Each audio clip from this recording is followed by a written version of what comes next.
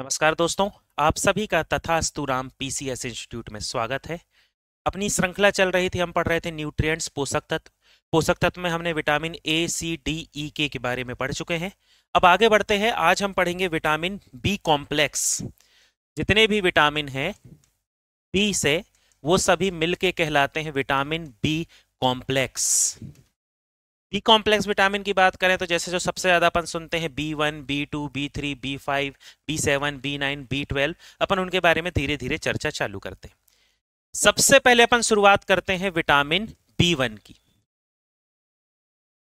Vitamin B one की यदि बात की जाए तो विटामिन बी का बी वन का रासायनिक नाम है थाइमीन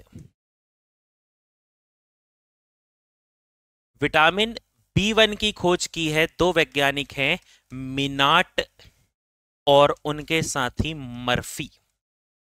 देखिए, बहुत सारी ऐसी जगह होती है जहाँ पर लिखा रहता है, विटामिन ए की खोज मैकुलम ने की है और बी की खोज की है मैकुलम ने। दोनों में मैकुलम लिखा रहता है, जबकि बी में बी कॉम्प्लेक्स बहुत सारे हैं, हर विटामिन की खोज अलग अलग ने की है। तो विटामिन बी वन की खोज की है मिनाट और मर्फी। यदि विटामिन बी वन की बात की जाए तो यह हमारे शरीर को जहरीले पदार्थों से बचाता है। यह हमारे शरीर को टॉक्सिक सब्सटेंस या जहरीले पदार्थों से बचाता है। जैसे मान लो हमारे शरीर में किसी प्रकार का कोई टॉक्सिक सब्सटेंस बन गया, हमने बाहर से लिया या शरीर के मेटाबॉलिज्म की वजह से बना तो वो हमारे ब्लड में ना पहुँच जाए, हमारी मसल्स में ना पहुँचे टिश्यू में ना पहुँचे तो उसको नष्ट करने का काम जो है, ये काम करता है विटामिन बी इसलिए कहा जाता है कि यह हमें जहरीले पदार्थों से बचाता है। आपने ज़रूर सुना होगा कि हमारे शरीर को एनर्जी या ऊर्जा जो है ग्लूकोज से मिलती है। ग्लूकोज हमारी सेल या कोशिका में है। वायुमंडल की ऑक्सीजन ब्लड की मदद से हमारी कोशिका में पहुँच गई। एनर्जी का निर्माण हुआ, हमें अड़तीस एटीपी एनर्जी मिली। ये अपन पढ़ते आ रहे हैं। लेकिन ऐसा विटामिन जो एनर्जी या ऊर्जा को प्रदान करने में मदद करता है, वो होता है विटामिन बी वन। ठीक है, जैसे हमने ग्लूकोज खाया पहुँचा, उसका डाइजेशन हो रहा है, पाचन हो रहा है तो उसको आसान बनाने के लिए, उसको सेल और अच्छे से कर सके, आसानी से कर सके तो उसको करने में जो विटामिन मदद करता है, वो विटामिन होता है बी वन आपसे ऐसे घुमा के पूछा जाएगा, ऐसा कौन सा विटामिन है, ऐसा कौन सा विटामिन है जिसका संबंध हमारी एनर्जी या ऊर्जा से होता है? है आपसे ये इस तरीके से पूछा जाएगा कि ऐसा कौन सा विटामिन है जिसका संबंध एनर्जी या ऊर्जा से होता है? क्योंकि अपन जानते हैं विटामिन, मिनरल्स, पानी, इनसे हमें डायरेक्ट तो एनर्जी मिलती नहीं है। तो पूछा जाएगा किस विटामिन का संबंध एनर्जी या ऊर्जा से होता है? तो उस स्थिति में आपका जवाब हो जाएगा, विटामिन बी वन हमारे शरीर को एनर्जी या ऊर्जा प्रदान करने में मदद करता है। अब यदि बात की जाए बी वन की स्रोत की या इसके क्या क्या सोर्सेस होते हैं तो इसका सबसे अच्छा स्रोत, जो सबसे ज़्यादा चर्चा का विषय रहता है पेपर में, वो है चावल। और यदि थोड़ा याद आए तो चावल में बी वन की खोज की थी फंक ने। यहीं से विटामिन का कॉन्सेप्ट आया था। तो विटामिन बी वन सबसे अधिक किसमें पाया जाता है? चावल में। यदि अपन इसकी कमी से होने वाले रोग की बात करते हैं तो बीमारी का नाम आपने ज़रूर सुना होगा, जिसे अपन कहते हैं बेरी बेरी। बेरी बेरी जो बीमारी है, इस बीमारी में क्या होता है? हमारी त्वचा में स्पॉट बनने लगते हैं, मांसपेशियों में बहुत ज़्यादा खिंचाव होता है, त्वचा ड्राई होने लगती है, जलन होती है, खुजली होती है, ये इसके लक्षण होते हैं। है तो बहुत बड़ी बीमारी नहीं है, लेकिन फिर भी ये धीरे धीरे ये जो सिम्टम्स या लक्षण ये नुकसान पहुंचाते हैं हमें। तो विटामिन बी वन की कमी से होने वाली बीमारी कहलाती है बेरी बेरी अब यदि अपन आगे बढ़ते हैं, अपन आगे बढ़ेंगे तो बात करेंगे अगले विटामिन की। अगला विटामिन जो है, ये है vitamin B two. Vitamin B two. ये जो विटामिन बी टू है, इस विटामिन का रासायनिक नाम है राइबोफ्लेविन। इसका केमिकल नेम, रासायनिक नाम है राइबोफ्लेविन और विटामिन बी टू की खोज की है डी टी स्मिथ। ठीक बी वन में अपन ने क्या पढ़ा बी वन का जो है रासायनिक नाम होता है थाइमीन और बी वन की खोज की है किसने? तो बी वन की खोज की है मिनाट और मर्फी। बी टू का रासायनिक नाम है राइबोफ्लेविन, जिसकी खोज की है डी टी स्मिथ एक सबसे महत्वपूर्ण बात याद रखेंगे, जब भी विटामिन बी टू का नाम आए तो इसका संपर्क होता है मिल्क से, दूध से। ऐसा विटामिन जिसका सीधे सीधे संपर्क मिल्क से या दूध से होता है, वो विटामिन होता है विटामिन बी टू अभी आपसे अलग अलग तरीके से पूछा जाएगा। जैसे आपसे कहा जाएगा, गाय के दूध का पीलापन। गाय के दूध का पीलापन किसके कारण होता है? गाय के दूध को जब बहुत ज़्यादा उबाला जाता है तो उसके ऊपर हल्की सी ऑयली या तेल जैसी परत एकत्रित हो जाती है और उसके ऊपर जो क्रीम मलाई होती है, उसका हल्का सा रंग पीला हो जाता है। तो वो गाय के दूध का पीलापन किसके कारण होता है? तो इस स्थिति में आपका जवाब हो जाएगा बी टू हो सकता है आपको ऑप्शन में विटामिन बी टू देखने को ना मिले तो आप घबराना नहीं, क्योंकि बी टू का रासायनिक नाम है राइबोफ्लेविन तो गाय के दूध का पीलापन किसके कारण होता है? तो आपका जवाब हो जाएगा राइबोफ्लेविन ठीक, वैसे तो दूध को सामान्यतः कैल्शियम के दृष्टिकोण से देखा जाता है। दूध में जो है, सभी प्रकार के न्यूट्रिएंट्स या पोषक तत्व होते हैं, उसमें कार्बोहाइड्रेट है प्रोटीन है, कैसीन प्रोटीन पाया जाता है लैक्टिक एसिड है, उसका पीएच सिक्स होता है, सब उसके अलग अलग महत्व हैं। लेकिन यदि दूध के दृष्टिकोण से देखें तो दो बिंदु याद रखेंगे। मिल्क में विटामिन सी और आयरन नहीं पाया जाता। आपसे ये पूछा जाएगा कि क्या कारण है कि दूध को संतुलित आहार नहीं कहते?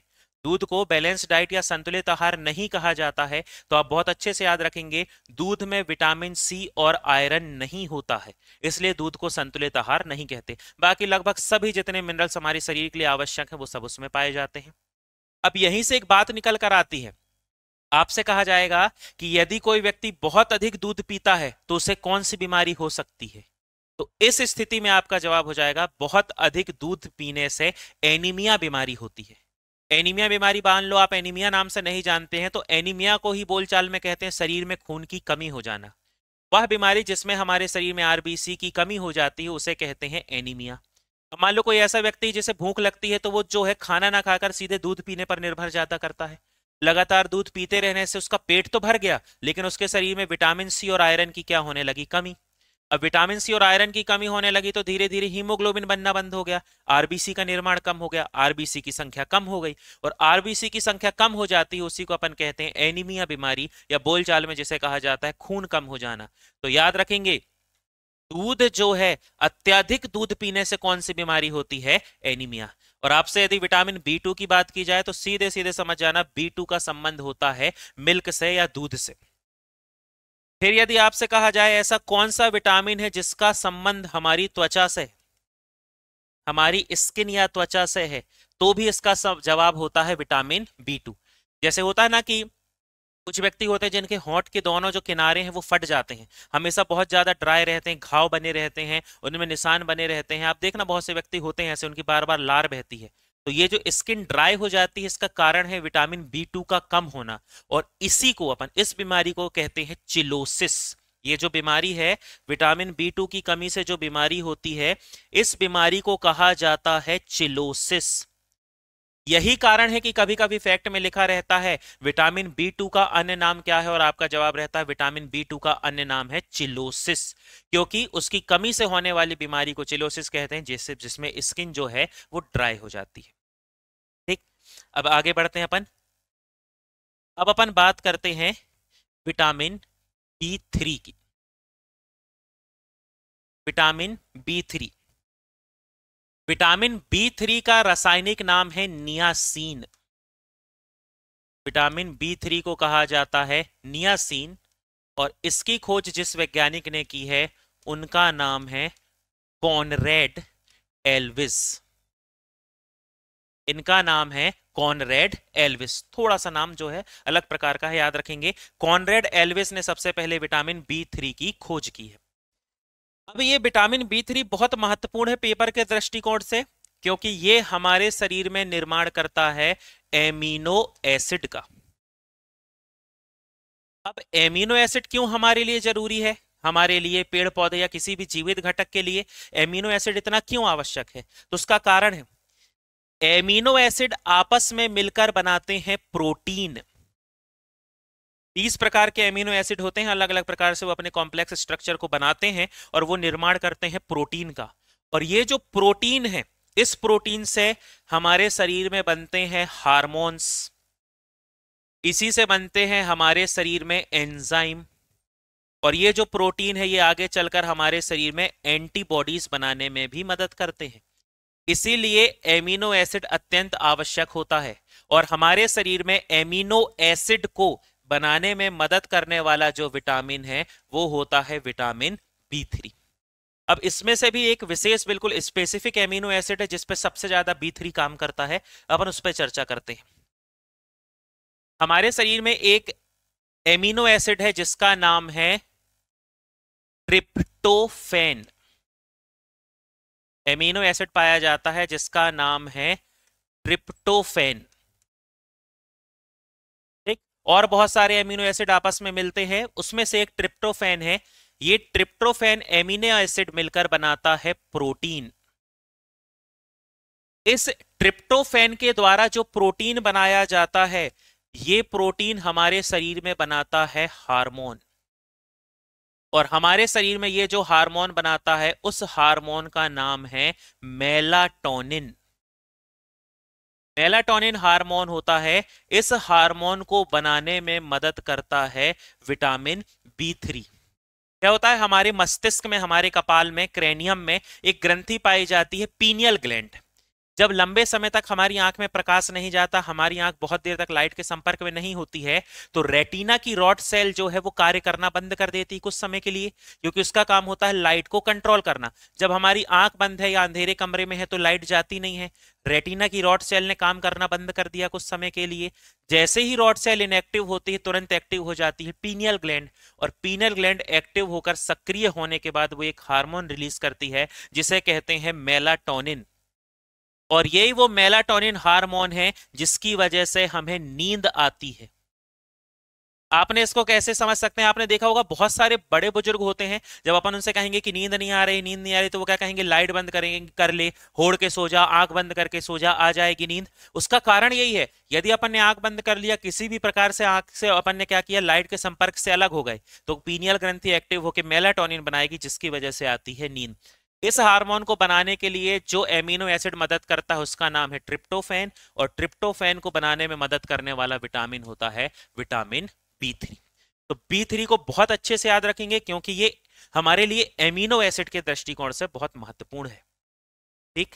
तो इसी प्रकार हम विटामिन की और सीरीज़ लाते रहेंगे धीरे धीरे विटामिन के बारे में और पढ़ते रहेंगे। तब तक आप पढ़ते रहिए, पढ़ाई करते रहिए, मुझे इजाज़त दीजिए, धन्यवाद।